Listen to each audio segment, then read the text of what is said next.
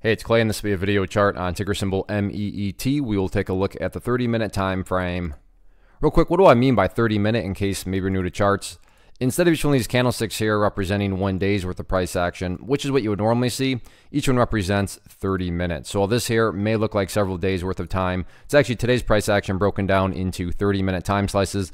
I'll let you this time frame does a good job of telling the quote unquote story of the price and then makes mapping out where levels of support and resistance a bit easier to see. Did this analysis on Thursday, so that is where the red and green line annotations are coming from. But after today's price movement, definitely some updates here need to be done. First thing I'm going to do is just some house cleaning.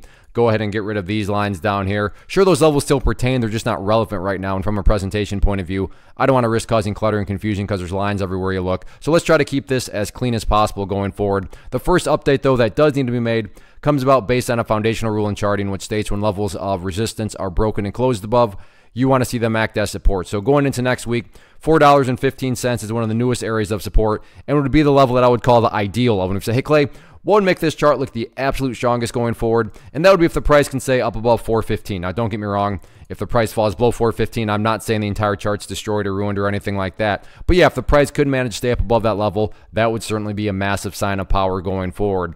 Taking a step back and looking at all this from the bigger picture point of view, that is where the purple line here comes into play, the 50 period simple moving average. Keyword being moving. As time goes by, this line here is just going to continue to move itself higher and higher. So a very straightforward way to gauge the health of the move.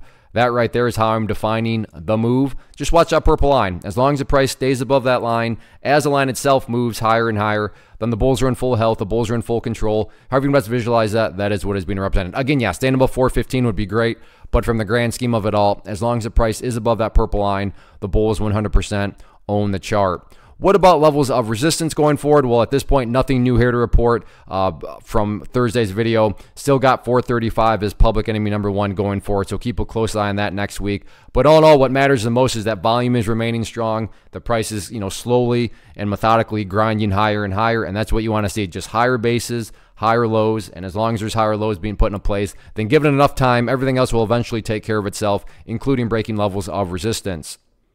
One of the biggest questions I get is, hey Clay, how do you find the stocks that you trade? So what I've done is put together a free resource guide where I talk about the tools that I use to locate stocks that I find interesting and think may have potential. So if that sounds like something that could add value to you as a trader, then click on the image that is up on the screen right now and I will email you the guide. The guide itself is very short and to the point and best part, it's completely free.